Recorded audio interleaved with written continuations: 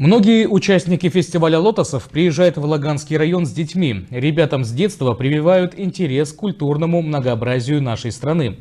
Здесь они знакомятся с традициями и обычаями кочевого народа, пробуют себя в калмыцких танцах, игре на домбре.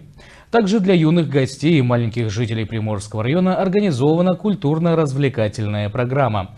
Накануне для всей детворы была организована вечеринка «Краски Холи». Индуистский фестиваль прижился в России. Основными участниками этого яркого и красочного флешмоба стали именно дети. Разбрасывание разноцветного порошка под музыку и игры аниматоров полюбился ребятам. Вечеринка оставила яркие следы не только на одежде, но и в памяти подрастающего поколения.